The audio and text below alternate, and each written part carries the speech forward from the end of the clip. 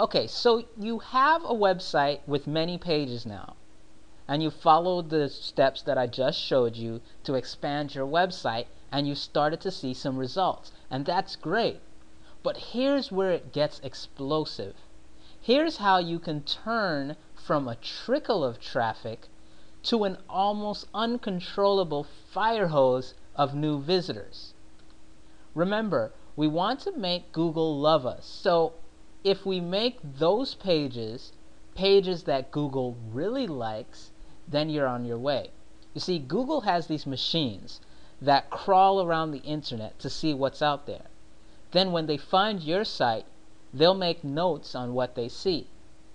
And because of this, when they reach your website, it's our job now to make sure that they see something they want to see.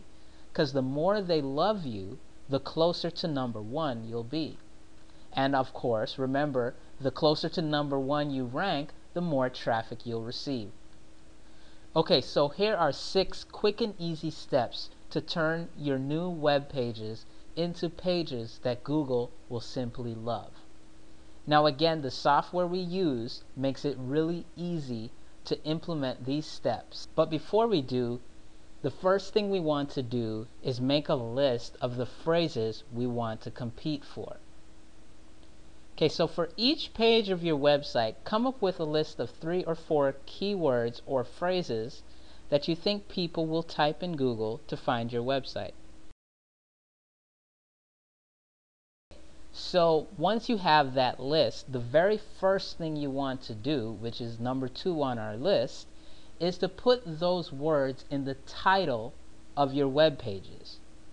Okay, now do you see up here in this blue strip here, well in my case black, the title is simply website, which is a very bad use of the title tag. If I click through the website, notice how it continues to say website. The title is one of the first things Google takes a look at when trying to determine what your website is all about. So let's go back to the editor and change the title of this page, The Growing Crisis in Colombia, to include those list of keywords or key phrases that I mentioned. To do that, it's very simple. You simply click on Page Layout and type in your title tag. Okay, when you're done, all you do is you hit Publish Page, and after you hit Publish Page, we can take a look at the site. Remember, it publishes immediately. And you'll see the title has changed Summer House Orphans, Summer House Foundation, and the rest of our keywords. The title tag is very powerful in giving you an almost instant boost in your search engine rankings. Okay, let's move to number three. Put that phrase in your headlines obviously a headline is the bold statement that's made at the top.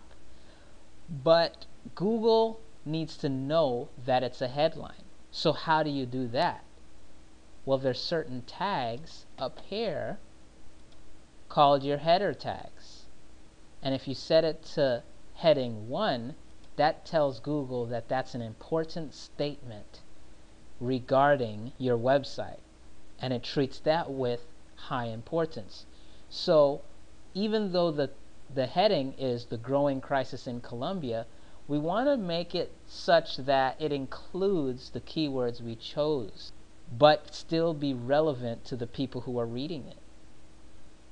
So we might say the growing crisis in Colombia, uh, summer house orphan relief in Colombia you'll remember that as part of our keywords, summer house orphans, that's one, and also we have orphan relief in Colombia. So now our head headline tag includes our keywords. Very powerful. Then you want to make sure to tag your subheads with heading 2 and heading 3 tags. So here we might say Colombian orphans. That was one of our keywords. And children, since we're about to talk about children. And make that a heading 2. Okay? Not too hard. Hit publish, and of course, instantly transfers the document. Number four, sprinkle those words throughout each web page. This one should go without saying. You want to make sure that the content in your web page includes those keywords. Okay, we can already see that Summer House Foundation is there. And here it is again, Summer House Foundation. Maybe we can add something that says orphan relief maybe right here we can say providing orphan relief. Okay, we can unbold that.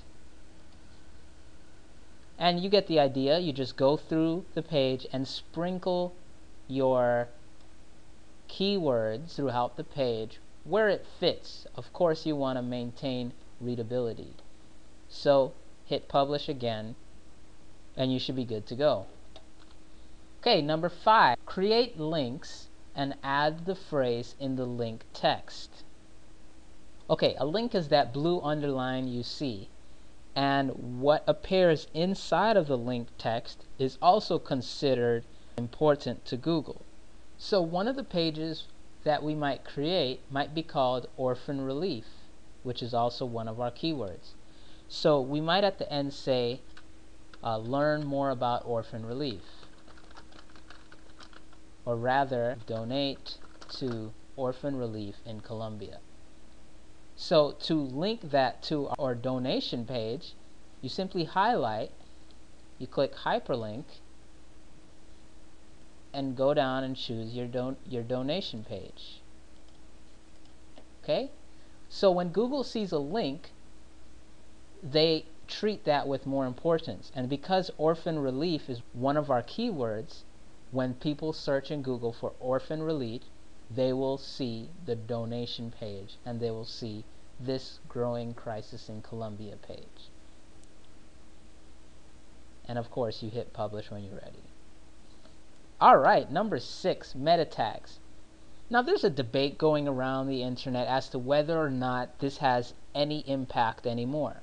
See, meta tags back in the day used to be all of what search engines used to determine what your site was about. But now they've gotten smarter and it has taken a lot less, if any, significance at all. But rather than argue the merits of any side of the debate, I just say throw it in there anyway because it can't hurt you and it takes almost no time. And I'm going to show you how to do that. Meta tags are called in the program search engine keywords. So all you do is you go to page layout again and you hit search engine keywords and you paste in your keywords. But this time we'll separate them by commas. Separate your meta tags by commas. Just think of meta tags as keywords or key phrases. Okay, incidentally, this description tag is important to Google as well when you type the phrase orphans in Google or anything in Google, what you choose anyone, you see a blue underlined title, and that's your title tag, and you also see a description.